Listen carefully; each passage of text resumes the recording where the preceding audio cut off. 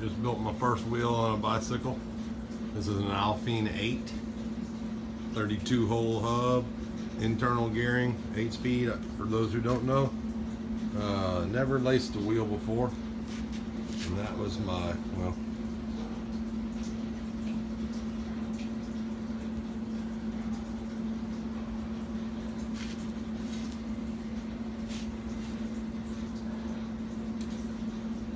Pretty straight, I'd say. Not bad for a first timer. See ya.